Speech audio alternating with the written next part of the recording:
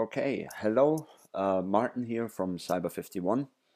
Uh, today I'm going to show you an FTP server exploit. So it's basically um, exploiting an FTP service in order to gain access to a remote machine. I'm starting the process here with the nmap command. So nmap is a popular scanning tool which reveals what sort of services are open on the remote machine. And so I'm just running the nmap command against the victim machine, which is 172.16.138.138. And then momentarily I get the services which are open. So here, port 21, the FTP control port is open, so indicating there's an FTP server running.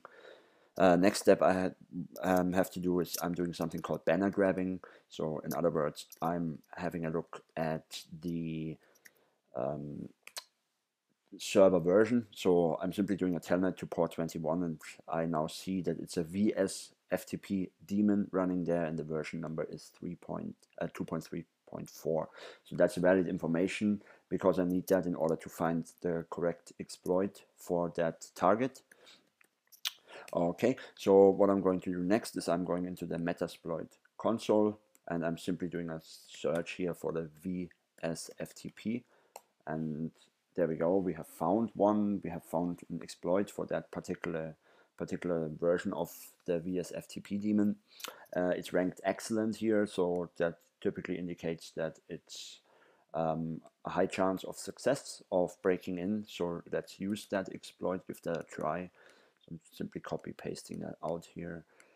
And then I'm doing the show options command what other options I have to specify. So basically I have to set the local host which is the attacker machine or in case my machine here in this case so which is that IP address. And then I have to set the remote host which is the, the victim machine which is the 138.138 and all I have to do now is I launch the exploit against the target see whether I can break in execute that by hitting enter. And then we can observe the process. And we now have a shell. So a shell means we have now control over the remote system. We can verify that with the whoami command. So aha interesting. We are, we are root on the remote system. We can issue an ls command list command on unix and we now have full control over the victim machine uh, to verify that, I'm simply doing a cat command, cat on the etc shadow file. Okay, so here we go, and those are the users and the hashed passwords in the etc shadow file. What I'm going to do now is I'm simply copy pasting those out, okay, because I intend to crack those locally. And I'm going to the directory pentest passwords John which stands for John the Ripper password cracking uh, tool. I simply create a little text file called crackme.txt and I insert those uh, values here. So I insert the etc shadow information into that text file.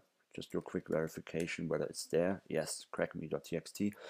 And now I have on, all I have to do is I run the command John, John the Ripper against the crackme.txt. And here we go.